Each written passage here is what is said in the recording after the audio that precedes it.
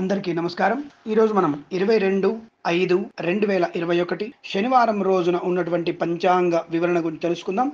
ఈరోజు శ్రీ ప్లవనామ సంవత్సరం ఉత్తరాయణం వసంత ఋతువు వైశాఖ మాసం శుక్లపక్షము దశమి తొమ్మిది గంటల పదమూడు నిమిషాల వరకు ఉండి తదుపరి ఏకాదశి ప్రారంభమవుతున్నది. ఉత్తరా నక్షత్రం మధ్యాహ్నం రెండు గంటల నాలుగు నిమిషాల వరకు ఉండి తదుపరి హస్తా నక్షత్రం ప్రారంభమవుతున్నది. వర్జ్యము రాత్రి తొమ్మిది గంటల నలభై ఏడు నిమిషాల నుంచి పదకొండు గంటల పదహారు నిమిషాల వరకు దుర్ముహూర్తం ఉదయం ఐదు గంటల ముప్పై ఆరు నిమిషాల నుంచి ఏడు గంటల పంతొమ్మిది నిమిషాల వరకు అమృత ఘడియలు ఉదయం ఏడు గంటల పదిహేను నిమిషాల నుంచి ఎనిమిది గంటల నలభై ఏడు నిమిషాల వరకు రాహుకాలం ఉదయం ఎనిమిది గంటల నలభై తొమ్మిది నిమిషాల నుంచి పది గంటల ఇరవై ఆరు నిమిషాల వరకు వ్యాప్తిగా ఉన్నది. నేను చెప్పినటువంటి శుభ సమయాలను పంచాంగంలో ఉన్నటువంటి వర్జాది దుర్ముహూర్తాదులను రెండింటిని కూడా సమీకరణ చేసుకొని శుభమైనటువంటి మీ కార్యక్రమాల్ని ఏర్పాటు చేసుకొని విజయవంతంగా పూర్తి చేసుకుంటారని ఆశిస్తున్నాను.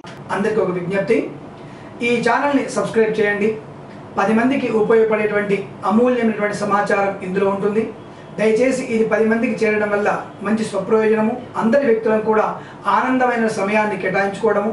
శుభమైనటువంటి పరంపరలో ముందుకు ప్రయాణం చేయడం జరుగుతోంది. కాబట్టి దయచేసి ఇది పది మందితో షేర్ చేసుకునే ప్రయత్నం చేయండి. ఇందులో ఏవైనా లోటుపాట్లు ఉన్నట్టయితే తప్పకుండా నాకు కామెంట్ చేయండి. దానివల్ల నేను కూడా నా యొక్క ఏదైనా పొరపాటుని సర్దిద్దుకునే ప్రయత్నాన్ని తప్పకుండా చేస్తానన్న విషయాన్ని ఒకసారి గుర్తు చేసుకోండి. దాదాపుగా మళ్ళీ మళ్ళీ మిమ్మల్ని రిక్వెస్ట్ చేస్తున్నాను. ఈ ఛానల్ని సబ్స్క్రైబ్ చేయండి. అందరికీ షేర్ చేసే ప్రయత్నాన్ని గట్టిగా చేయండి. స్వస్తి ప్రజాభ్య పరిపాలయంతా. న్యాయేన మార్గేణ మహిమహేష గోబ్రాహ్మణేభ్య శుభమస్తు నిత్యం లోకా సమస్త సుఖినో భవంతు స్వస్తి రామార్పణం